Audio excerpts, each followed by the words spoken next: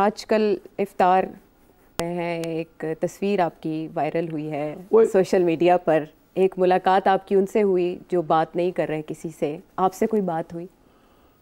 आप क्यों?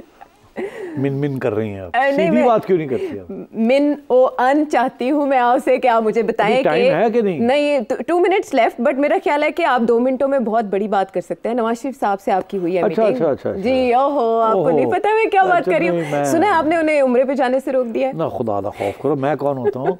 बात यह है कि कुछ अरसे से मुलाकात नहीं हुई थी। अच्छा। बिकॉज़ बड़े बिज़ी थे वो।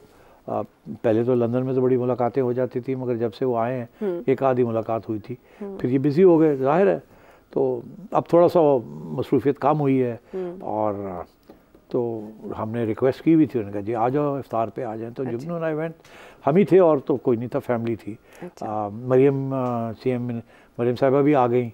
उनका भी इफ्तार था वो ख़त्म करके तो आ गई के तो आ गई। तो मियाँ साहब थे मैं था जुगनू थी हसन हुसैन थे। उनकी एक अहलिया थी और जुनेद भी था और मरियम की बेटी भी थी। अच्छा। तो फैमिली टाइप चीज़ सीन था और कोई सियासत नहीं डिस्कस की मैं आपको बता दूँ। अच्छा। आपको बड़ी मायूसी होगी ये सुन के। इस किस्म के मौाक़े पे हम सियासत नहीं डिस्कस करते। फिर किस किस्म के मौके पे करते हैं वो खुफिया होते हैं। आप नहीं बताएँगे? नहीं वो इस इतनी सी भी बात नहीं इतने इस होते वो अच्छा। जहाँ सारे बैठे हो। यहाँ बस आपको मैं बता देता हूँ बात क्या हुई। मैंने मियाँ साहब से पूछा अच्छा खाना वहाँ बहुत उमदा होता है। हम्म, हम्म।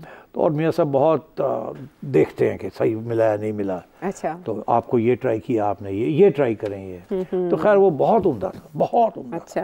क्या था वैसे? कोई एक डिश आपकी फेवरेट ओहो पुलाव भी था मसूर की दाल भी थी चिकन थी अच्छा, उसके बाद देसी, देसी और बहुत कुछ था। और फिर उससे पहले अफतारी थी वो उसमें वो आठ दस चीज़ें थी। बट ऑल ब्यूटिफुली कुक्ड मियाँ साहब बहुत खुराक हैं। हाँ।, हाँ। तो और मेहमान नवाजी भी बड़ी करते हैं हम्म। प्यार भी करते हैं। तो वो फिर पहले तो ये फिर मैंने पूछा उनसे मैंने कहा दसो कि तुम इतना ज़बरदस्त खाना थे कुछ फ़ेमस लाहौर के आप बताएँ कौन सी ज़बरदस्त जगह हैं जहाँ आपको खाना पसंद अच्छा, आया अच्छा। उन्होंने फिर कहानी पूरी शुरू की कॉलेज के ज़माने से स्कूल के ज़माने से। अच्छा। वो सेंट एंथनीज में थे। तो कहने लगे याद है आपको वो एक नान कबाब होता था? तो वो एक तो मैंने कहा जी बिल्कुल होता था वो तो क्रिश्चियन था और वो नान नान कबाब बनाता कह रहा बड़ा ज़्यादा मज़े का उनको अभी तक याद है वो अच्छा। नान कबाब। तो वहाँ से बात शुरू हुई फिर मछली कहाँ सबसे बेहतर मिलती है?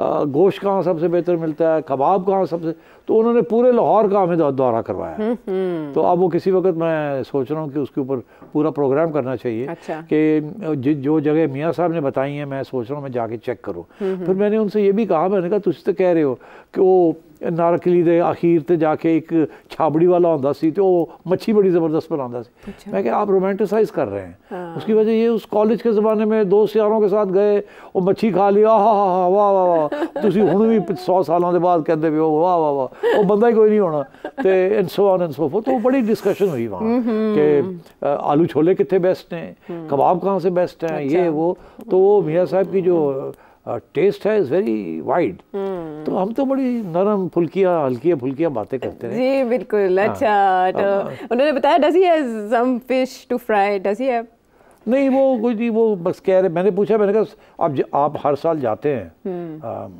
उम्र के लिए उम्र के लिए हम्म। और रमज़ान के आखिरी में तो कहने लगे नहीं मैं इस साल शायद नहीं जाऊँगा हम्म। तो ये नई खबर थी अच्छा। क्योंकि मेरा ख्याल था कि वो जा रहे हैं तो उन्होंने कहा नहीं मैं अभी नहीं कोई इरादा नहीं है अभी मैं इधर ही हूँ और तो तो मैंने कहा तो फिर लंदन का क्या प्लान है? हम्म। तो मैंने कहा चले फिर मैं भी चलता हूँ वहीं बैठ के ज़रा ठंडे मौसम में ज़रा गपशप हम्म। होगी। हम्म। तो कहने लगे नहीं अभी तो कोई प्रोग्राम नहीं है। अच्छा। तो बहरहाल जब होगा तो देखा जाएगा। अच्छा चले समर तो ये आफ्टर बजट अभी वो कोई प्रोग्राम नहीं है ना सऊदी अरेबिया जाने का प्रोग्राम है ना और। अच्छा, अभी वो यही है। अच्छा ये थोड़ा सा सरप्राइज़ भी है और फिर मैं ये भी आपको बता दूँ कि लोग कह रहे थे कि बड़े मायूस हैं थोड़े डिप्रेस हुए हैं बिकॉज़ ऑफ़ दिस जिस किस्म के हालात हुए बिल्कुल रिलैक्स्ड ओके और बिल्कुल कैजुअल रिलैक्स्ड कोई स्ट्रेन हम्म। नहीं कोई स्ट्रेस नहीं। तो मैं भी ज़ाहिर देख रहा था कि कुछ स्ट्रेस शेस हो तो पता लगे। आपने शहबाज शरीफ साहब का नहीं पूछा हाल चाल नहीं मौका ही नहीं मिला बिकॉज़ वो थे नहीं वहाँ तो उनका क्या पूछना था? अच्छा मैंने कहा शायद हाल चाल वो सियासी बात हो जाती है हाँ हाँ लेकिन भाई से भाई की बात। नहीं मैं अच्छा। भाई से भाई की बात होती है भाई की बात नहीं होती। इंटरेस्टिंग काफ़ी खानों के नाम ले लिए गए और एक दो बातें और कही थी कुछ लोगों के बारे में।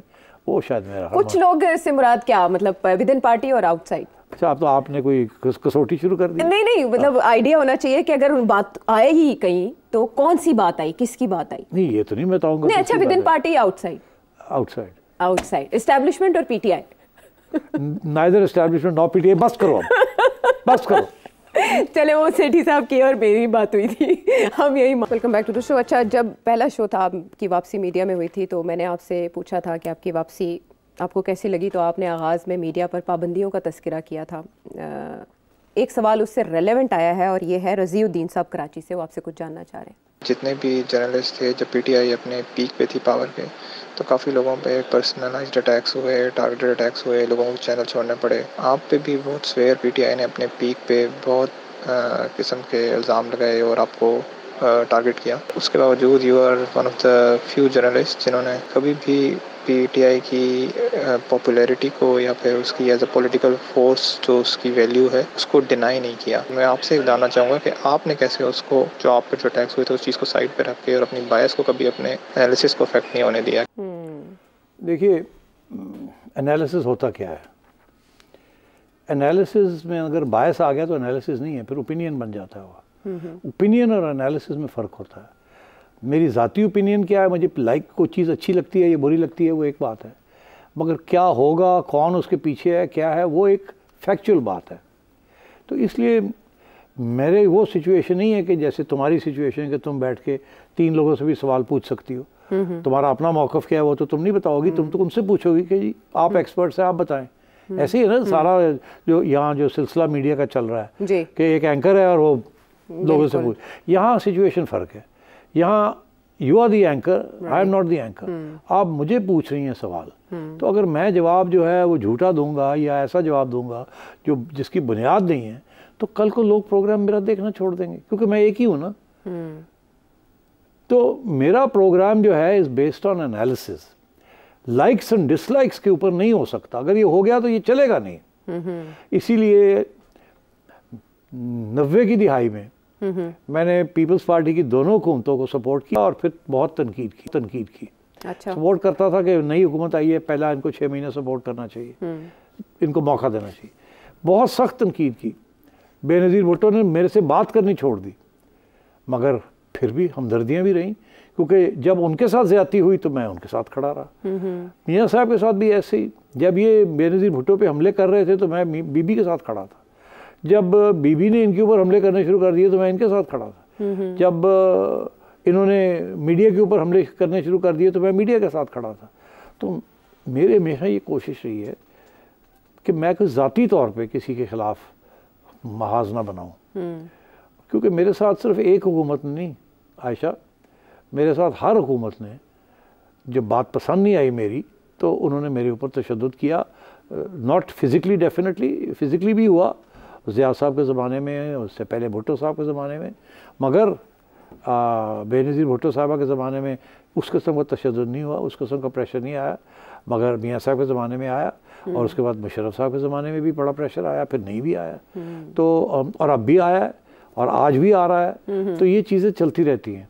मैं वो पूछ रहे कैसे? इसका सिर्फ़ मैं यही इसका जवाब दूँगा कि अल्लाह मियाँ ने डिपेंडेंट नहीं बनाया किसी पे।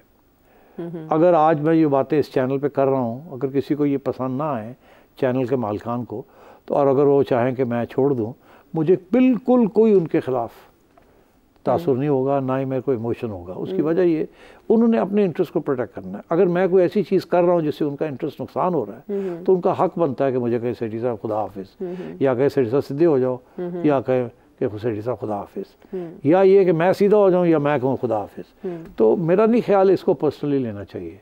हर एक की अपनी मजबूरी होती है। हम्म। हर एक अपने अपने ज़मीर के साथ काम करते हैं या नहीं करते इनके ऊपर इल्ज़ाम नहीं लगाने चाहिए। तो आज अगर मुझे यहाँ मैं बैठा हूँ और मैं कोई बात कर रहा हूँ जो कि शायद इस इस चैनल की मैनेजमेंट को ना पसंद आए they have every right to ask me मत करो।